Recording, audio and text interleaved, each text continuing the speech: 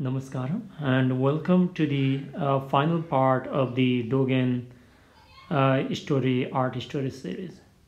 So after uh, Dogen uh, attained enlightenment, uh, he returned back to Japan, uh, where he started a new sect, Buddhism sect, which is very popular even now. It is called Soto Zen.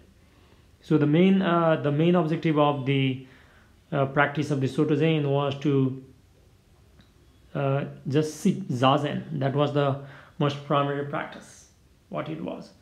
So uh, the traditional uh, Buddhists uh, who were in Japan, they found out where, like, what was the teaching Dogen has brought from China because they were like a bit jealous about the success of Dogen, and then they went to his monastery and then asked him that, show us the proof, show us the proof. What was the teachings you have brought from the China? What are the teachings? What you thought? What you think as the true Buddhism?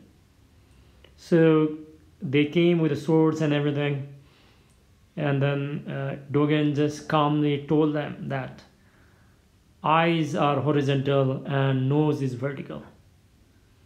So they thought that like it was a joke. They said that like uh, what are you talking about and everything. They didn't understood.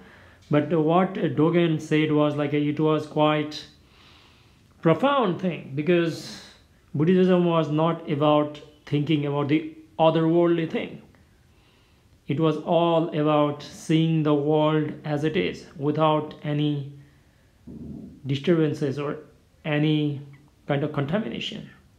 To see the world as it is.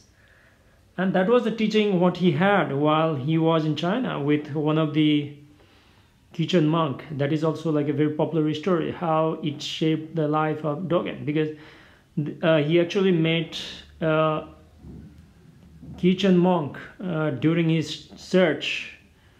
And uh, at the time like uh, you know he asked what were the true buddhisms in china. And uh, the monk literally told him that the world is the way it is and it was like that from the beginning itself. The world is not hiding anything. And it is quite profound if you can understand what this literally means. That was the same thing dogen was telling to the other monks in japan. So uh, the violent stuff erupted and they couldn't understand what they were saying and they were power hungry as well. So they burned down the monastery of zen uh, the dogen and dogen and uh, his disciples they had to leave the town and then they went to the mountains and they started another monastery over there. Uh, so this was like a quite fascinating and uh, at the same time like uh, he also was able to uh, bring about other monks from other sects as well who found out uh, his way was like far more determined by the practices and everything. And dogen left. And and after many years uh, dogen found out that like he was he was sick and everything. At the same time he was working on uh, scripture not the scripture book but a book very profound book. It is called Shobogenzo. So which literally means buddha dharma.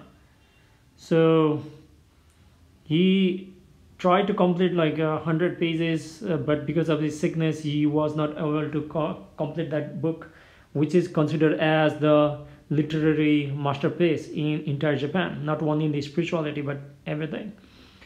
So at the end uh, before he uh, left his body uh, he initiated uh, he gave the lineage to his another disciple. And uh, that was his story. So it was like a quite profound and everything. And not only that he also started initiating uh, the nuns after his demise. So he single-handedly changed the entire buddhism landscape in Japan and without that I don't think we would be, we would be having so much understanding about Zen Buddhism.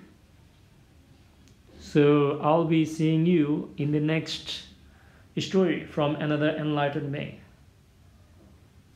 Namaskaram.